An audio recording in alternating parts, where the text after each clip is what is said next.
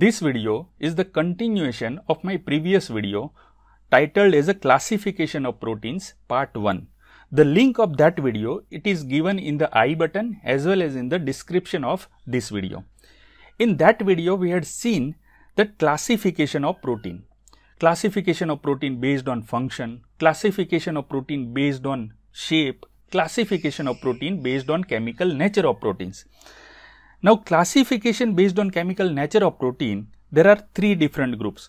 One is simple protein, second one is conjugated protein and third one is derived protein. We had seen full detail of simple proteins and conjugated proteins. In case of derived protein, as its name suggests, they are derived from either simple proteins or conjugated protein. Now, how they are derived? They are derived by one of two processes. They are derived either by denaturation or by the degradation.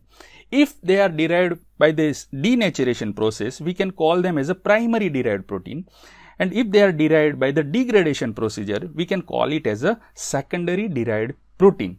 So, now let us look further about the derived proteins. So, derived proteins they have two subgroups right. The first one is the primary derived protean and second one is the secondary derived protein. Primary derived protein it is of the denatured variety whereas secondary derived protein it is of the degraded variety. If we look at the primary derived protein they are further classified into three subgroup. The first one is the protein. Remember this is not the spelling mistake, its spelling is as such only. The second one is the metaproteins and third one is the coagulated proteins. Now, I suggest you that whenever you remember the subgroups of primary derived protein, you remember in this sequence only. The reason is that as you move from protean to metaproteins and metaprotein to coagulated proteins, there is an increase in the degree of denaturation. That means proteans will have a mild denaturation, metaproteins will have somewhat moderate denaturation and coagulated proteans will have a maximum denaturation. Now, in case of protean, as we know that it has very mild denaturation, so we have to provide mild condition to the simple and conjugated protein right. So, proteans they are produced by the action of water or very dilute acid or base or enzymes right and these proteins they are insoluble in water. If we look at the examples of proteans, we have three example myosan, edestan and fibrin. Myosan it is derived from the myosin, edestan it is derived from the elastin and fibrin it is derived from the fibrinogen. The second group over here is the metaproteins.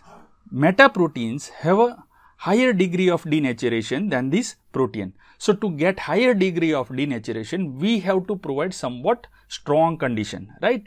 So, metaproteins they are produced by the further action of acid or alkalis on the protein and metaproteins are soluble in nature.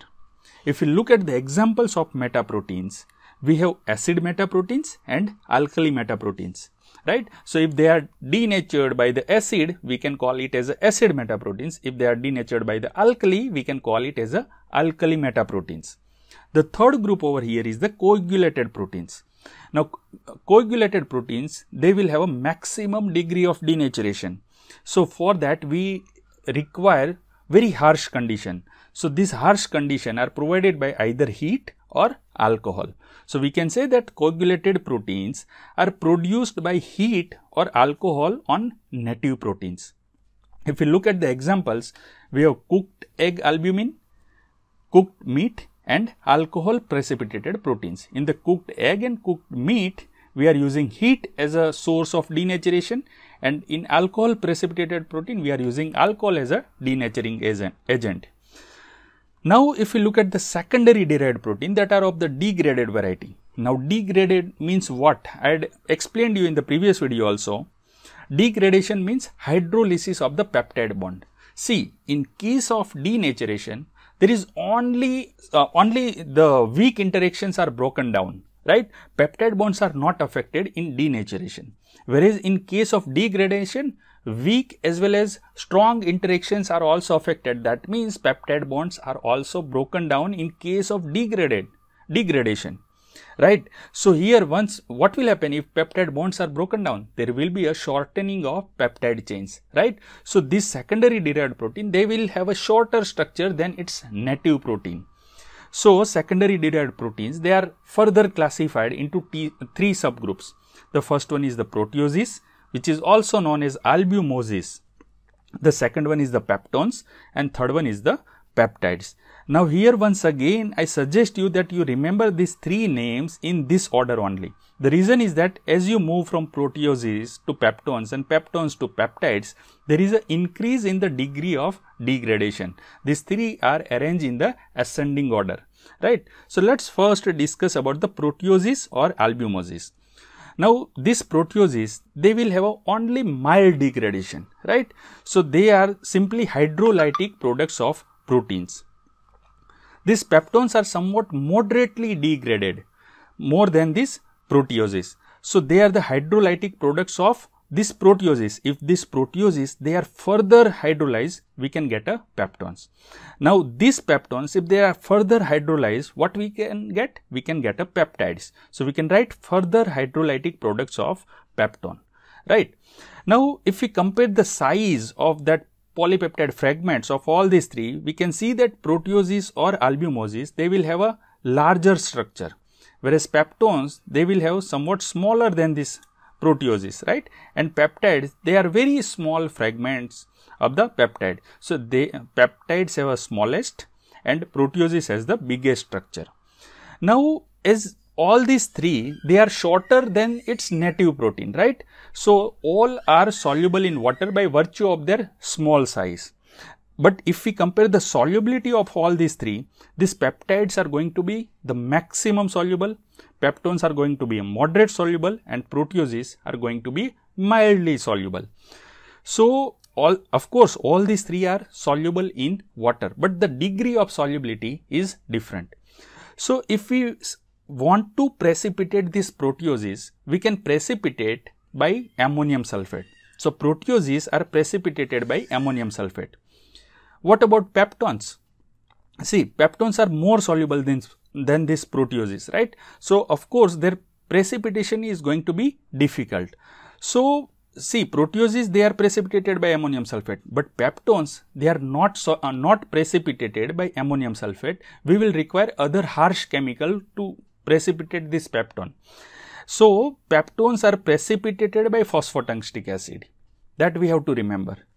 Now, if we talk about the peptides, they are the maximum soluble, right? So, they are not even getting precipitated by phosphotungstic acid. So, there is a no question of ammonium sulfate. So, for the peptides, we can say that they are neither precipitated by ammonium sulfate nor precipitated by phosphotungstic acid. Now, one interesting aspect about these peptides is that they are only small number of amino acids are joined by peptide bond. It may be dipeptide or tripeptide. Remember dipeptide and tripeptide, these both words are misnomer. Why? See in case of dipeptide, there are not two peptide bonds. There are only one peptide bond. In case of tripeptide, there is no any three peptide bond. There are only two peptide bonds. So that's why they are misnomer. See, in case of dipeptides, there are two amino acids, right? And for joining of two amino acid, only one peptide bond is required. So, in a essence, it is monopeptide. It is only one peptide bond, but two amino acid. Whereas in case of tripeptide, there are three amino acid joined by two peptide bonds. Okay. So, this tripeptide has three amino acid and two peptide bond.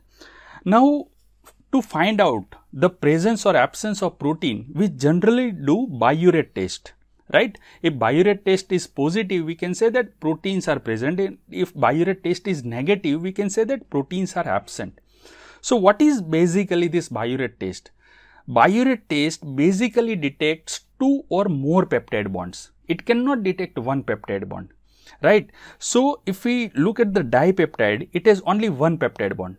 So, biuret test will give a negative result with the dipeptide, whereas biuret test will give positive test with all other peptides, all tripeptide, tetrapeptide, pentapeptide, all the proteins will give positive biuret test except except for this dipeptide, right.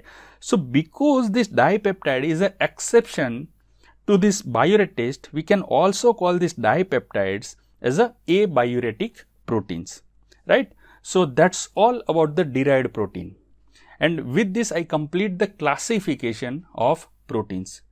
If you have any query or confusion, please write it down in the comment section below. Thank you.